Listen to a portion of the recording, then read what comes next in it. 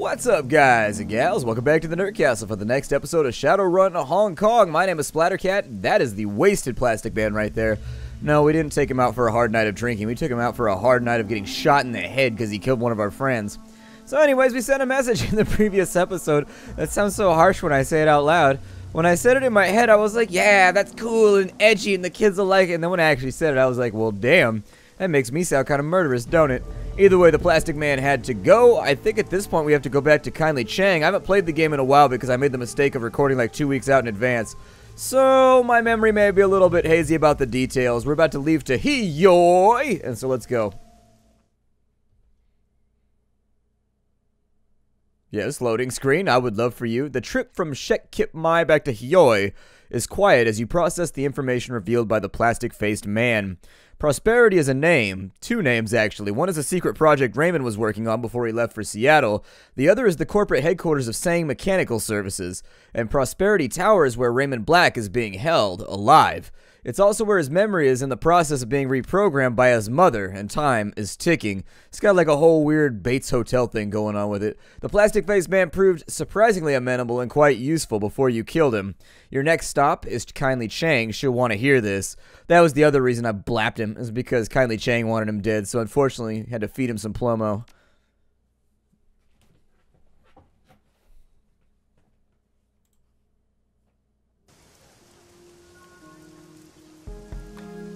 Mission went surprisingly well, though, so I'd like to see what rewards we're going to get out of it. We got 10 karma. That's actually really, really, really solid. So with the karma, what I'd like to do now is let's go ahead and take a look at our intelligence menu. And I really don't see a point. I mean, it would be nice to have the Fairlight Excalibur, and we could do it right now. We go bring, bring, and we'd be the hell up out of here. But that would mean, so we can go 11 right there. What else do we have? Like, how far in have I gone with rifles? Going in pretty far. Not like ridiculously far. We could also go range 6, quickness 7. Since we're only running one drone right now. Tough call. I don't know what I want to do nowadays with this character. We could take more ESPs, but I don't think they're that useful in this game. With the way they've changed decking to work, I think they're going to have to change ESPs too in the next game. Just because you don't do enough combat now. In the previous games, ESPs were stupid powerful, and I used them all the time because you were often outnumbered because it was all stand-up combat. In this game, you very rarely fight. In fact, you try to avoid it as much as possible. And the fights are usually over in about two turns, so the ESPs, I think they're going to need to be changed in order to make them useful again. Do Class S drones, which would be pretty badass if we take that up to 7. Let's go in right there. I'm going to confirm that. And I'm going to go back in real quick. Cyberware would be pretty dope too. I mean, I wouldn't be too upset by having more HP because we have been getting hit really hard. A little bit of body never hurt anybody. I think we also put some points into charisma while we were here too. I mean, I don't know. We can make ourselves a little bit more talkative, but I feel like at this point in the game it might be a bit of a waste. Got six left. I'm going to sit on the six right now because if we can get ourselves a good score of karma, you step out of the MTR station into the balmy night air. An impenetrable wall of clouds, heavy with imminent rain, is blown in from the south. It covers the stars and causes them to wink out, one by one. You can smell something on the air, something electric. The wind whips up around you, and the clouds begin moving in a thick grayscale swirl. The spiral builds and grows, shimmering with faint amber light.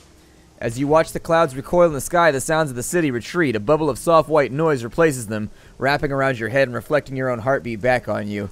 You look down from the clouds to see the lights of the docks dancing in a warm, saturated bloom. I'm going to take a trade shot. You raise your wrist to capture the view with your PDA's built-in camera. The image swims into focus on the machine's tiny screen as the camera lens adjusts to the light. And that's when the first twinge tickles your chest, lets you know something's coming. A moment later, you feel an incredible tightness in your chest. It feels like your heart is being crushed under the foot of a giant.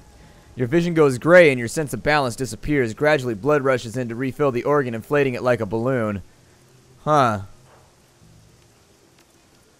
You gasp for air and it doesn't come. Your breath shallows out and thins and makes you gasp like a suffocating fish. Your chest contracts again and again as you struggle to take in breath. You stumble forward and every cell in your body seems to vibrate.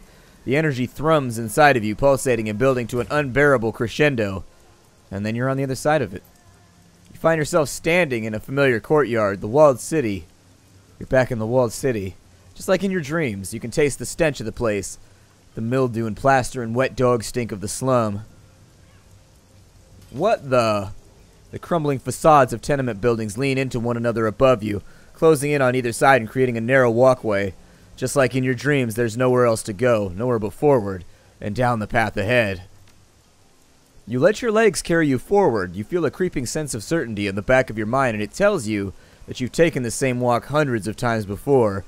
The sense of claustrophobia mounts and builds with every step that you take, and it feels like you're worming your way forward down a long dark tunnel. The humidity of the place sticks to your skin. As you proceed deeper into the walled city, a low rumble fills the air, the noise of enormous gears in motion.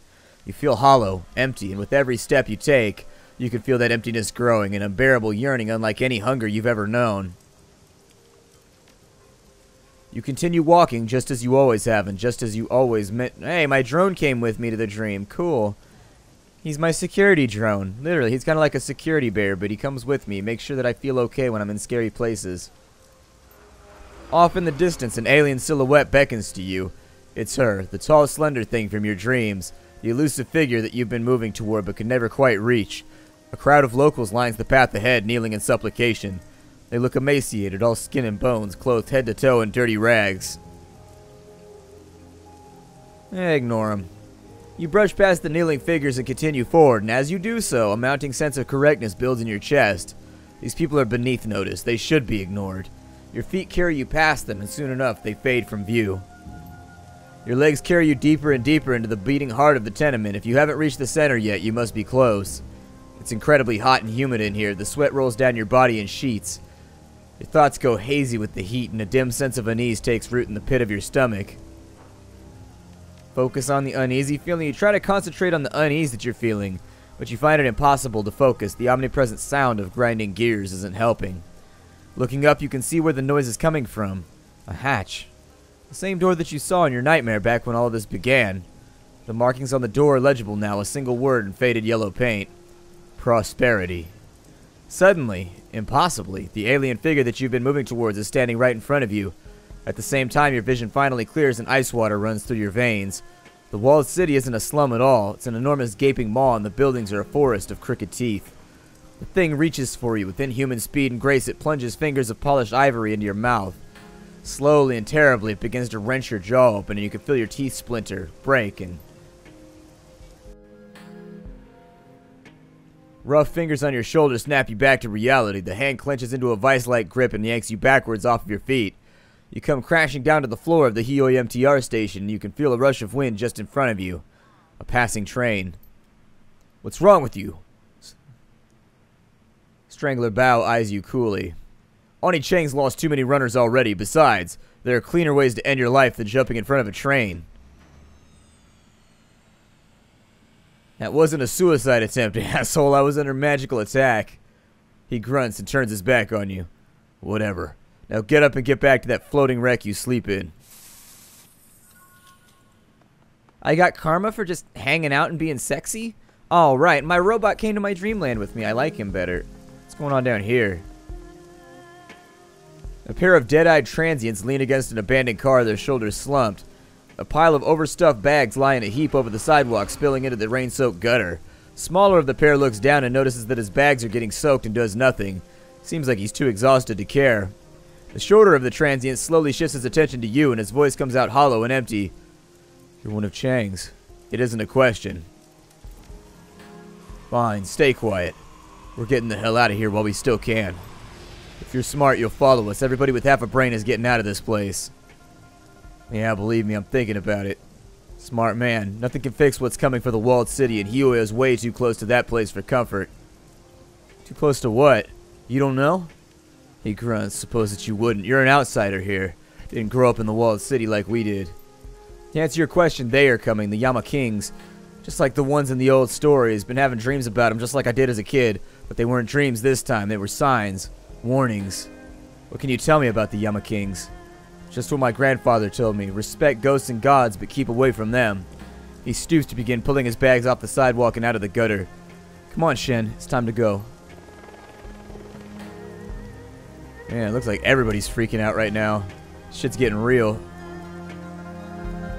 Alright, so the final tier of abilities. We can get Whirlwind, a katana attack that hits adjacent targets. Go with Ghoul. Lets him regenerate 6 HP per round for 3 rounds. That's pretty good.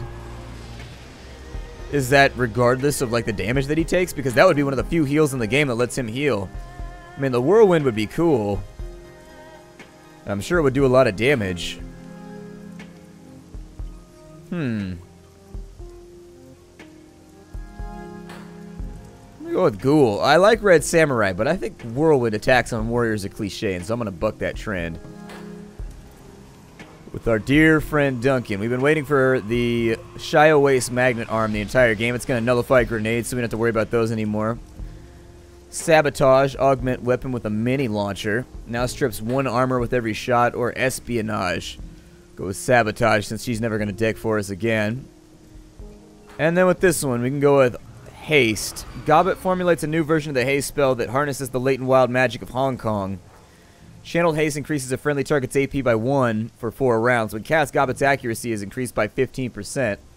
So basically, it allows her to cast two of her spells at the same time. Gobbet can now consume spirits and imbue herself with their power. Consuming a spirit heals Gobbet for 20 HP, and AP is increased during 1 during that time. Uh, both those are kind of eh. They're not bad, but they're not good either. I'll probably go with that one. It seems more useful than... I mean, if that's...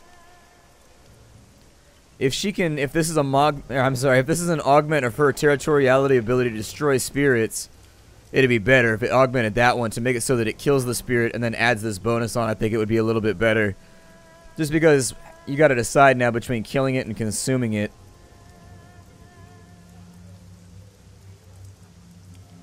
And like, how much damage does Consume Spirit do, or does it just instantly kill him like this does?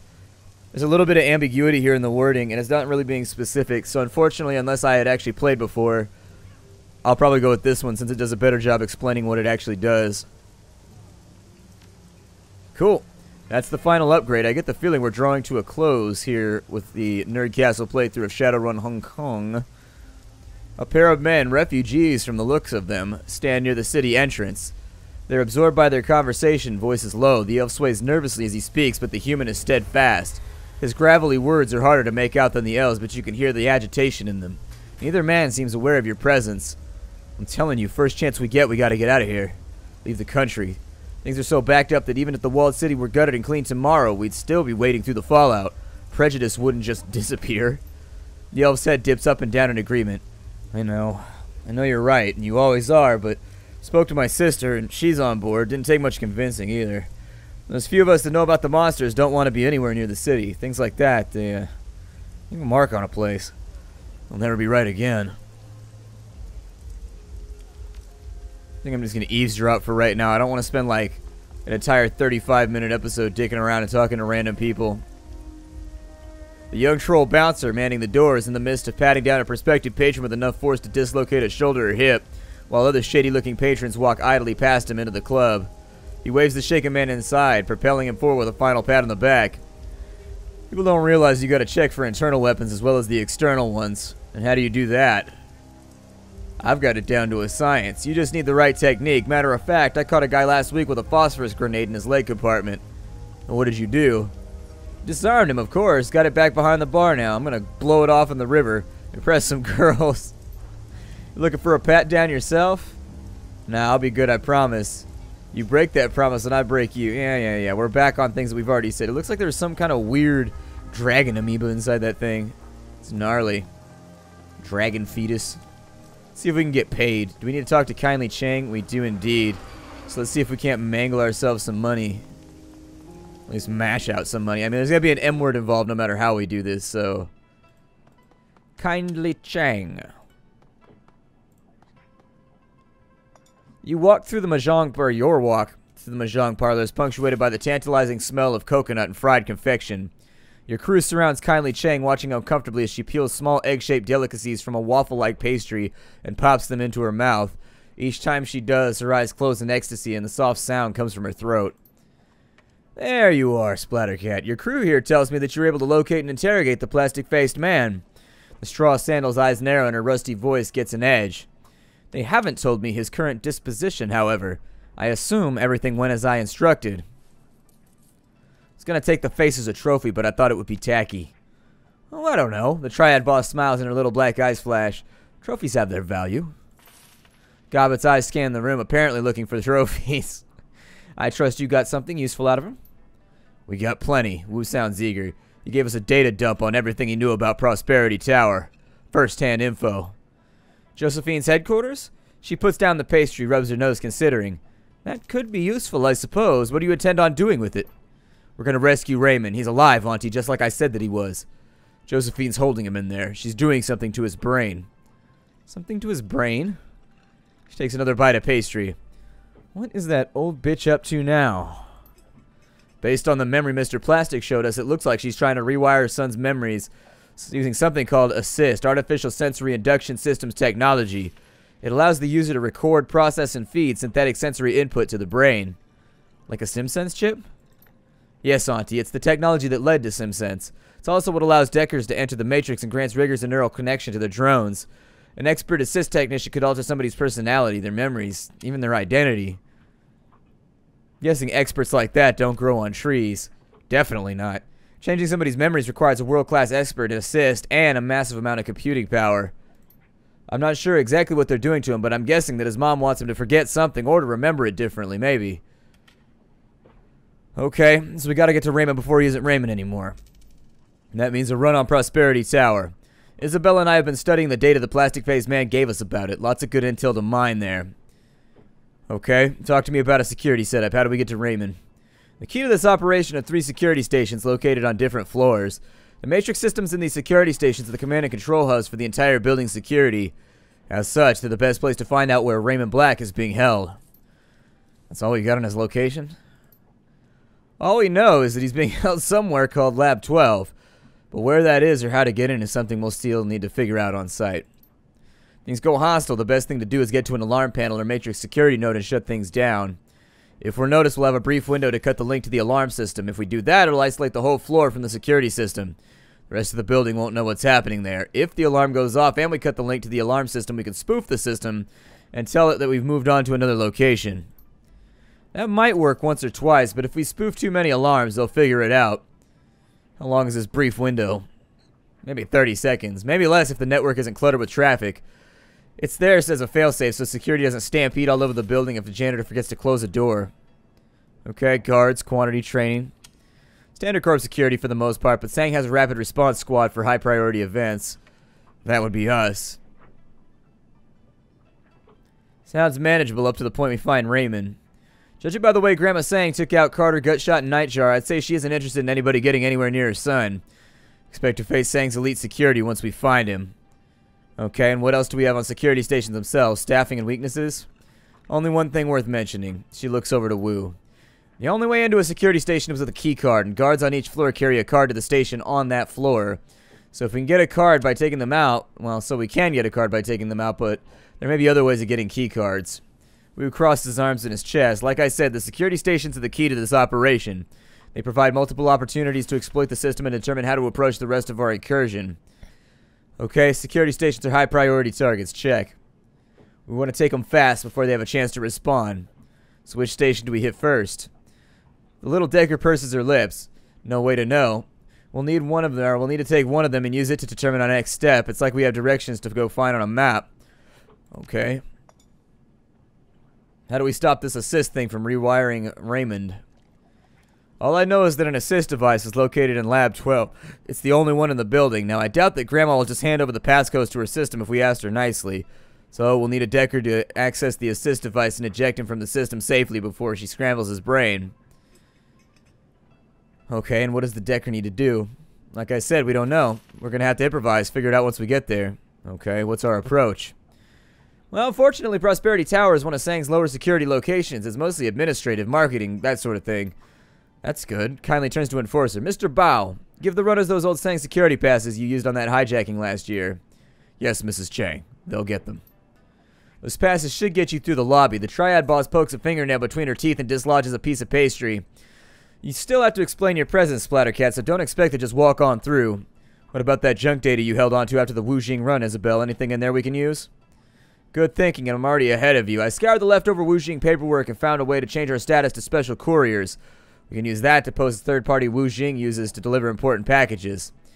That'll work for a while, but we can't expect to stay in cover for long. One way or another, things are going to get hot. Okay.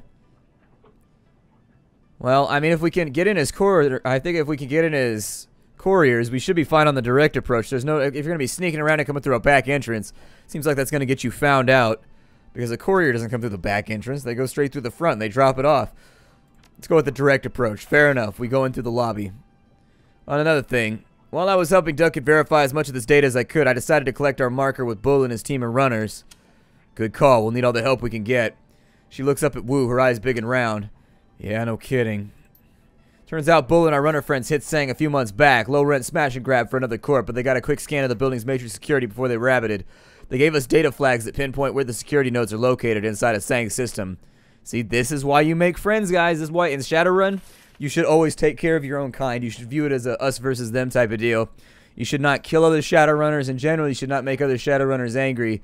It's bad business. It's kind of like being an accountant and making all other accountants hate you by killing accountants and whatnot. It's not going to be good for your job security.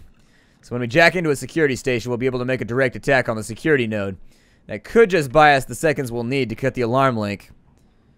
Yes, the marker was useful. Kindly cuts in, licking your fingers with loud smacking noises.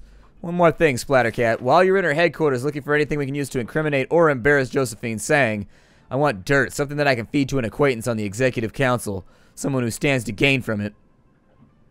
Does dirt come with a cash bonus? She pops another egg treat into her mouth, and her eyes close tight with pleasure. Of course, my sweet. Of course. Now go enjoy Prosperity Tower, she smiles wolfishly, and give Josephine Sang my regards. She's gonna betray us. I know she's gonna backstab us. I got a feeling. Never trust criminals for too long. You work with the mob, the Yakis, you work, with any of the Mafia in this game for too long, or in Shadowrun in general, eventually you're gonna get burned. So Shadowrunner, you need to get used to the fact that you're a deniable asset. And bad things can happen to you. See, I could take this, like, all the way up. And we could take, we have corporate already. We could take security.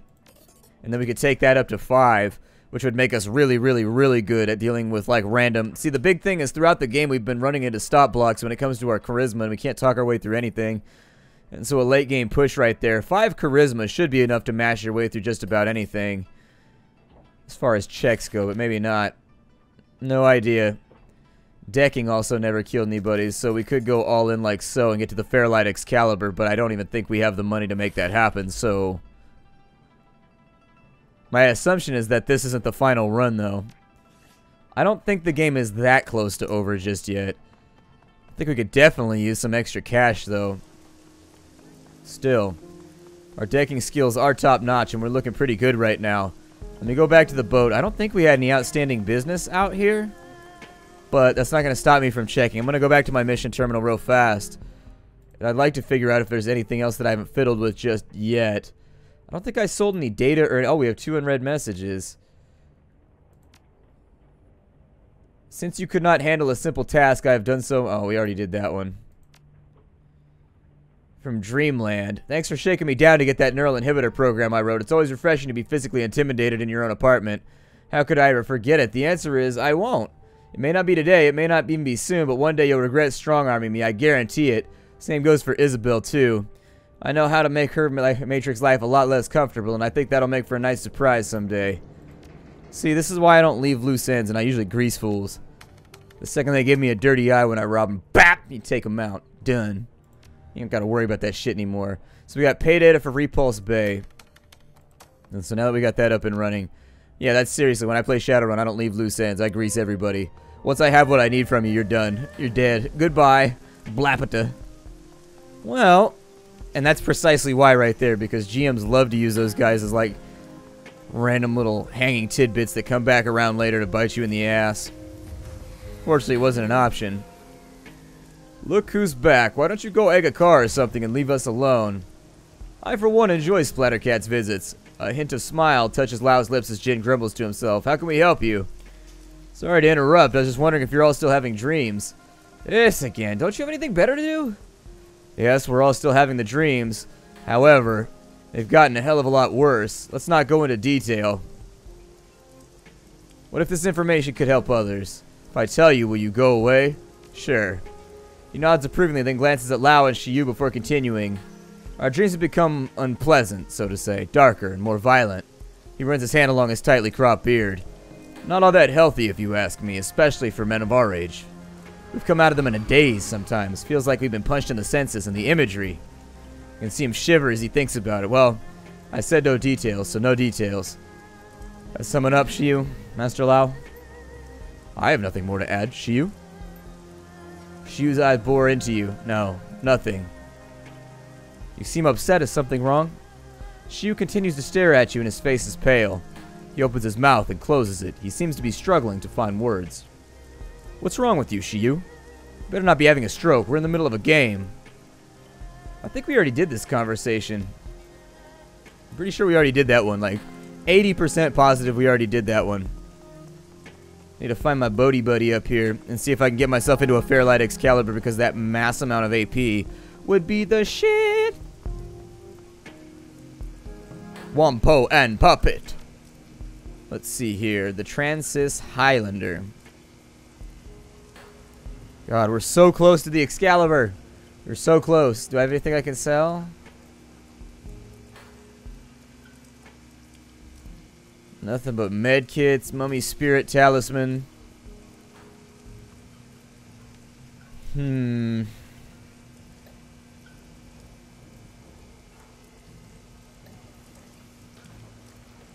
The only way we're getting there is by essentially li liqu liquidating just about everything that we have. This one's got more HP, weirdly enough. Huh. 325. But it's got less AP. Interesting. I don't have the cash right now, but maybe when we get back. Let's head for the MTR. My name is Splattercat. Thank you for joining me here at the Nerdcastle for the next episode of Shadowrun Hong Kong. I will see you all in future episodes. Hi do, everybody.